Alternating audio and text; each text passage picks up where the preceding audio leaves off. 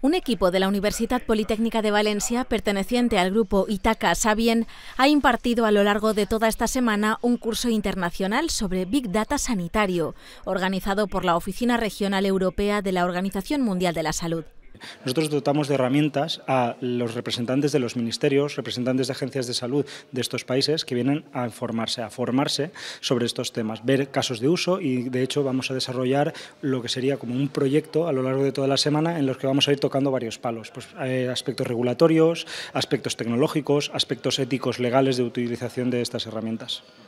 El curso Formación de Impacto sobre Big Data en Sistemas Sanitarios se enmarca dentro de la implementación del Plan de Acción Regional de Salud Digital para la región europea para el periodo 23-30, impulsada por la Oficina Regional para Europa de la OMS, a través de su División de Políticas y Sistemas de Salud. Esto es un reto muy importante porque mm, el año pasado hicimos un curso muy parecido, pero era con países de la región europea, de la Comunidad Europea. La Organización Mundial de la Salud está dividida en continentes, pero no geográficamente distribuidos. Ahora, por ejemplo, este curso nos estamos centrando en las repúblicas exsoviéticas, sobre todo Uzbekistán, Georgia, Kirguistán, eh, Kazajistán, eh, y ellos, claro, tienen otro sistema de salud que está por desarrollar. Entonces, nos plantearon si podíamos abarcar eh, las tecnologías desde un punto de vista de países en vías de desarrollo para ver cómo, ahora que están empezando a montar sus sistemas de salud, cómo pueden montar todas las infraestructuras que tienen que tener en cuenta para desarrollar estos sistemas que sean sostenibles de cara al futuro. A lo largo de toda la